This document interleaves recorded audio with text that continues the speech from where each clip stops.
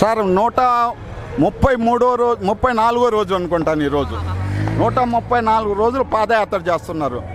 అదే కాకాని గోవర్ధన్ రెడ్డి గోవర్ధన్ రెడ్డిని ప్రజల్లోకెళ్ళి చూడమనండి.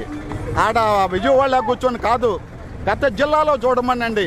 కడప కానీ కర్నూలు కానీ అనంతపూర్ కానీ పాదయాత్రకి జనం ఎట్టొచ్చుండాడు ఆయన కళ్ళు పెట్టుకొని చూసి మాట్లాడమనండి. ఊరికిన మా నాలుక ఉందని చెప్పిన మాట్లాడితే కాదు జాతీయ ప్రధాన కార్యదర్శి నారా లోకేష్ నడుస్తా ఉంటే ఆయనకి ఈరోజు ప్రజలు ఒక బ్రహ్మరథం పడుతూ ఉన్నారు. ఎందుకంటే జగన్ గారి ప్రభుత్వం పోవాలని చెప్పని వాళ్ళు ఒక బ్రహ్మరథం బట్టి ఎలా మార్పు తీసుకురావాలనే ఒక ఉద్దేశంతో ఆయన ప్రజలు ఆయన పాదయాత్రకి జన్మస్తూ ఉన్నారు. సార్ ఈ నాలుగు రోజులు ఇదేం కర్మలాగా ఉంది. ఎందుకంటే గత ప్రభుత్వంలో ఐదు వందలు ఎత్తుకొని పోతే సంచి నిండా సామాన్ వేసుకొని వస్తున్నాం. ఈ ప్రభుత్వంలో సామాన్ వేసుకొని వచ్చేదానికి లే. అదే ఐదు వందలు ఎత్తుకొని పోతే రెండు నూనె ప్యాకెట్లు వస్తూ ఉన్నాయి ఇంటి పన్ను చెత్త పన్ను అలాగే కరెంటు బిల్లు ప్రతి ఒక్కటి కూడా పెంచేశారు. ఈ గవర్నమెంట్ వచ్చినాక ఏడు సార్లు కరెంటు బిల్లు పెంచారు. ఆ ఏడు సార్లకి యాభై వేల రూపాయలు యాభై వేల రూపాయలు ఇప్పుడు దాకా ప్రజల మీద భారం వేసి పెంచున్నారు. యాభై వేల రూపాయలు కరెంట్ కరెంటు బిల్లు పెంచి ప్రజల మీద భారం వేసి ఉన్నారు అలాగే ఇల్లు పుడుచుకొని బయట బారేసే చెత్తకు కూడా చెత్త పొన్నేసి ప్రజలు హింసిస్తూ ఉన్నారు. ఇలాంటి ప్రభుత్వానికి తర్వాత ఇప్పుడు ఇల్లు సార్ ఇల్లు కట్టుకొని ఉంటే ఇంటి మాత్రమే పొన్నేస్తారు. ఇప్పుడు ఇంటి ఒక ఇంటి ముందు ఉండే దాన్ని కూడా పొన్నేసి ఈ ప్రజలు హింసించి ఇదేం కర్మ అన్నట్టుగా ఈ గవర్నమెంట్ ఉంది సార్.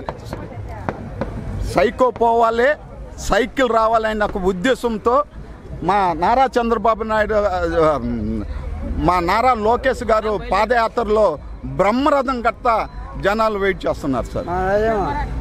అంటే ఈ నాలుగు సంవత్సరాల్లో ఇంత వ్యతిరేకత రాష్ట్రంలో మొదలైనా కానీ ఇప్పటికీ కూడా పార్టీ మంత్రులు కానీ ఎమ్మెల్యేలు కానీ సాక్షాత్ జగన్మోహన్ రెడ్డి గారు మాట్లాడుతూ నూట డెబ్బై ఐదుకి నూట డెబ్బై ఐదు మేమే గెలుస్తాం why not one seventy five అంటా ఉన్నారు. అవును sir why not one seventy five మొన్న మన పట్టభద్రుల ఎలక్షన్లో why not one seventy five?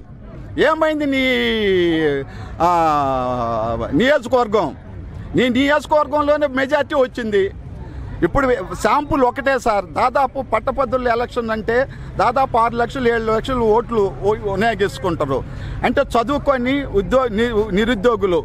వాళ్ళ వల్ల ఏదన్నా మార్పు రావాలన్నా ఏం రావాలన్నా. అలాంటి వాళ్ళు మార్పు వచ్చింది. వాళ్ళనే శాంపుల్స్ తీసుకుంటే why not one one seventy five రేపు నీ నియోజకవర్గం చూసుకో. చంద్రబాబుని కాదు why not one seventy five అనేదానికి. నువ్వు నియోజకవర్గం చూసుకొని మాట్లాడాలని మేము మాట్లాడుతున్నాం. ఇదే మంత్రులు కానీ వీళ్ళందరూ కూడా ఒకటే చెప్తున్నాను సార్. మీకు దడబుట్టుండది లోకేష్ పాదయాత్ర గారు చూస్తే మీకు దడబుట్టింది. దడబుట్టి మీకు ఒళ్ళంతా చెమటలు పుడుతున్నాయి. అందుకని మీరు మతి భ్రమించి ఏదంటే అది మాట్లాడుతున్నారు ఆ మాటలన్నీ స్వస్థత చెప్పండి ప్రజల్లోకి రండి విచారణ చేయండి. లోకేష్ బాబు పాదయాత్రకు జనం వస్తున్నారు లేదు చూడండి. లోకేష్ బాబా యాత్రకి రెస్పాన్స్ వస్తుందో లేదు చూడాలని మంత్రులు గారికి మనం చేస్తున్నాం సార్. సార్ రెండు వేల ఇరవై నాలుగులో టీడీపీకి పొత్తుగాని ఉంటే నూట నలభై సీట్లు వస్తాయి సార్. పొత్తు లేకపోయినా వన్ నూట పది మేము ఈజీగా గెలుచుకుంటాం సార్. Thank Danke.